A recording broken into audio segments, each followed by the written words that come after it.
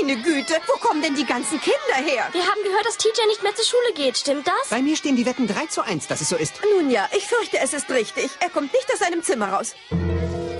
Dann stimmt es also. TJ schwänzt die Schule. Mein erster großer Knüller als Informant der fünften Klasse. Das ist doch furchtbar für die ganze Schule. Beruhigen Sie sich wieder. Ich muss Sie zur Ordnung rufen. Zur Ordnung? Was reden Sie denn da? Meine Schüler sind alle fahnenflüchtig. Das ist Anarchie. Meine sind auch auf der Flucht. Ich finde das abgefahren. Wollen Sie damit sagen, dass kein einziger Schüler in der Schule ist? Ja, Sir, wir müssen die Kinder finden, bevor etwas Schreckliches passiert. Ja, wenn das Büro für Ordnung und Erziehung davon erfährt und mir kündigt, wo stecken die Kinder? Ich weiß ganz genau, wo sie sind.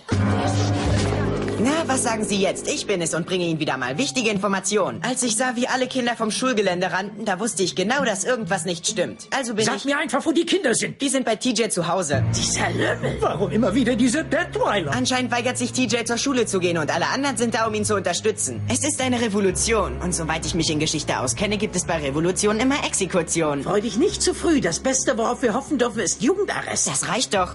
TJ,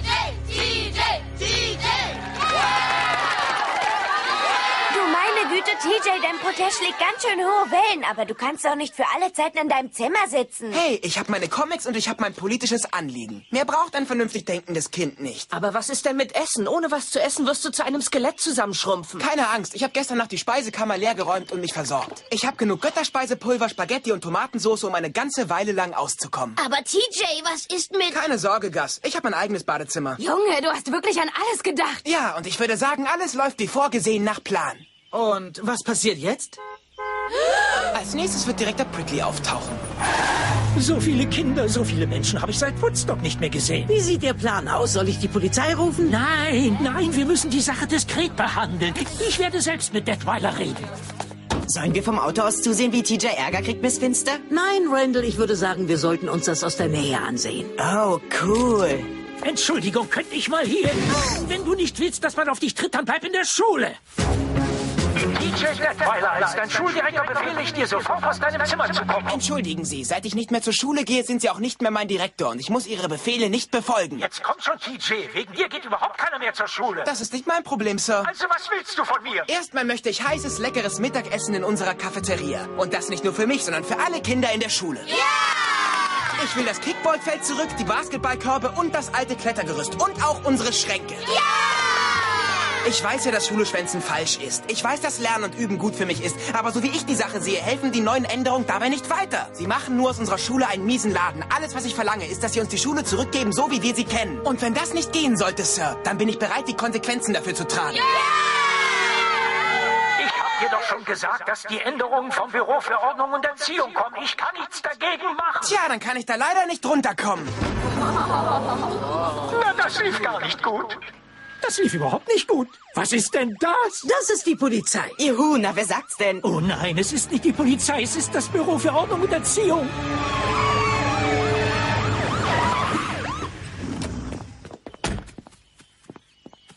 Kontrollmitarbeiter McLellan und McDooley vom Büro für Ordnung und Erziehung. Oh, hallo, was führt Sie denn hierher? Wir haben gehört, es gibt hier ein Problem. Ich würde das nicht ein Problem nennen. Das ist nur ein harmloser Junge, der sich in seinem Zimmer eingeschlossen hat. Ich habe alles unter Kontrolle.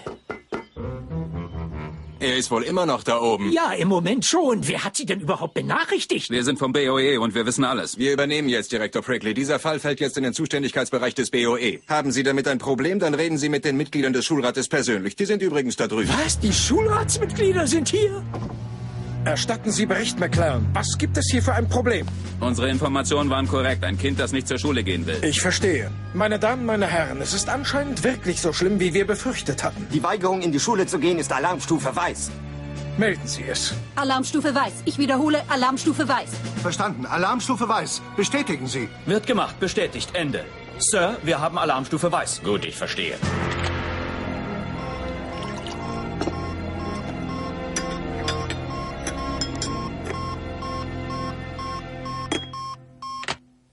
Ja. Ich schaffe das Problem umgehend aus der Welt. Kelly, ich stehe vor dem Haus, in dem sich der zehnjährige TK Duttwaller weigert, in seine Schule zu gehen. Er ist unzufrieden mit einigen neuen Maßnahmen des Büros für Ordnung und Erziehung. Hier sind die fünf Mitglieder des Büros mit ihrem Vorsitzenden Milton Brown. Mr. Brown, was hat es mit diesen neuen Maßnahmen auf sich? Sind sie überhaupt gut für unsere Schüler? Studien haben ergeben, dass diese Maßnahmen gut für unsere Schüler und unsere Schulen sind. Der Schulrat und ich unterstützen sie einmütig. Was den jungen TK angeht, so sagen die Nachbarn über ihn, dass er ein seltsamer Junge sei, der nirgendwo ohne seine rote Baseballmütze hingeht. Hey, TJ, TJ, du bist in den Nachrichten. Gut gemacht, TJ. Alle Menschen haben von dir gehört. Ein langer Kampf ist Gott sei Dank endlich zu Ende. Noch nicht, Mikey. Denn ich habe das Gefühl, als hätte das Ende gerade erst angefangen. Nein, nicht der Hubschrauber, das kann nur eins bedeuten. Mr. White, der Vollstrecker des Büros für Ordnung und Erziehung.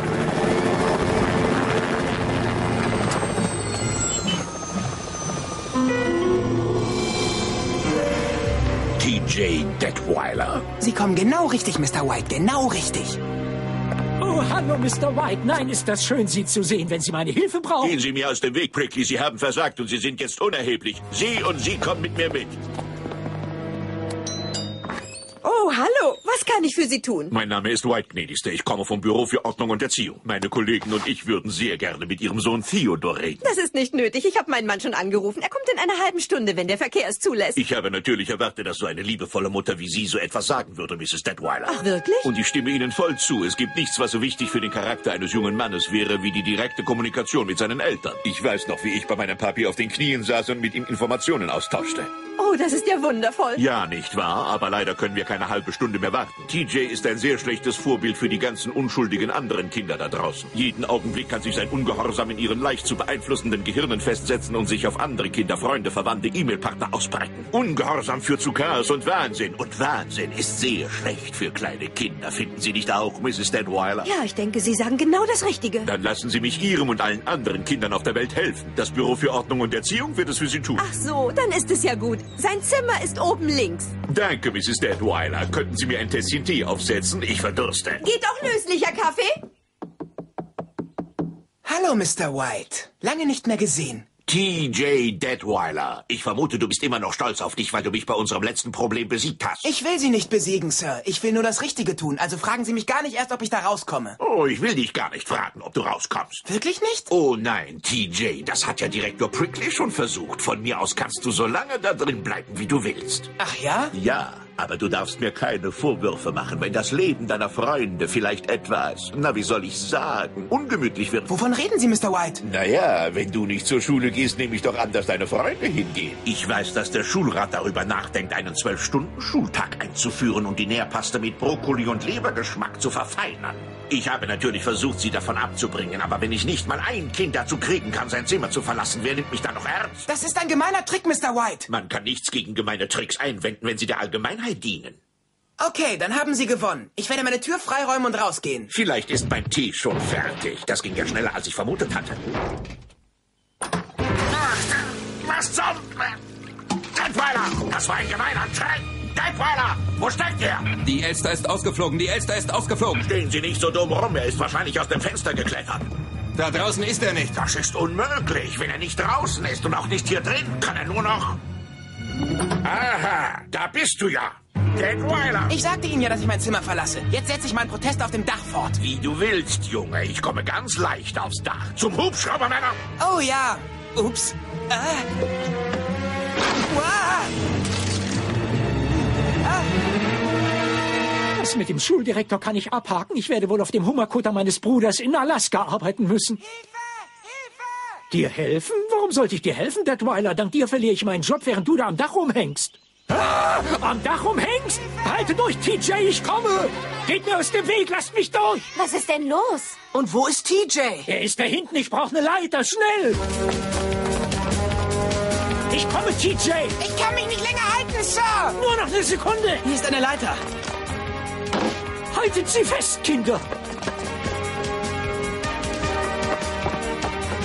In Ordnung. Bei drei ziehe ich dich an deiner einen Hand hoch, während du dich mit der anderen hochziehst. Verstanden? Ja, Sir! Eins, zwei, drei!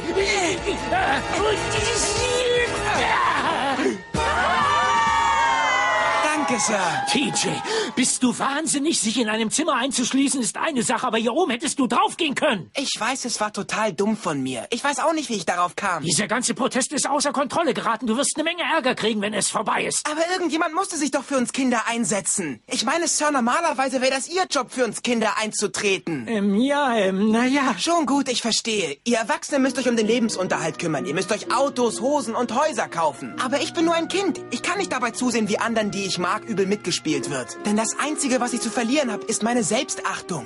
Prickly, gut gemacht. Sie haben ihn geschnappt. Bringen Sie ihn sofort hier runter, dann sorge ich dafür, dass Sie befördert werden.